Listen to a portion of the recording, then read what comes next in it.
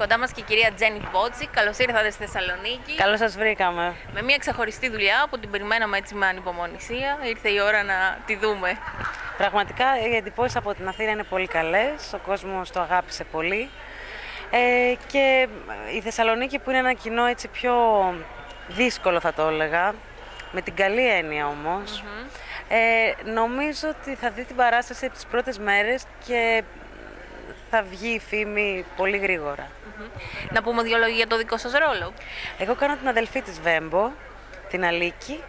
Ε, μία γυναίκα που φαίνεται ότι τη στάθηκε στη ζωή της και ήταν πολύ δίπλα της. Πολύ αγάπη μεταξύ τους και πάντα και τη βοηθούσε στη δουλειά. δηλα- θέλω να πω ότι η Σοφία έπαιρνε την Αλίκη στις δουλειές της σαν χορογράφο ε, για να της δίνει δουλειά. Και βλέπουμε και πόσο η Βέμπο ήταν ένας άνθρωπος τόσο μα τόσο πολύπλοκος και περίπλοκος που πραγματικά είναι κρίμα που δεν ξέρουμε τίποτα για τη ζωή